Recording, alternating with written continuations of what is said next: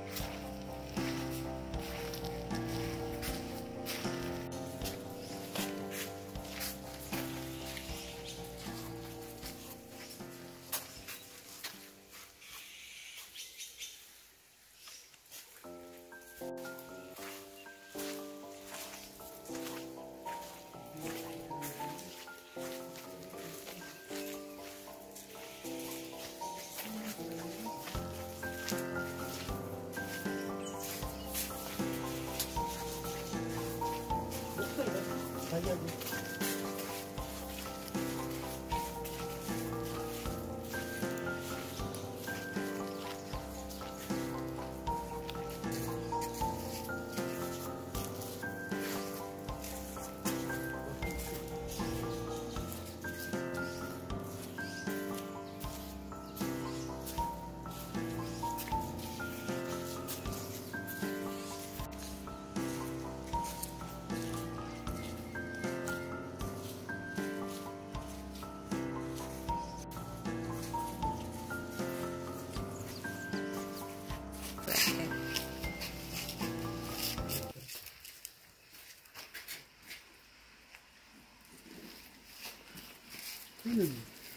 자기한테 딱 핀네.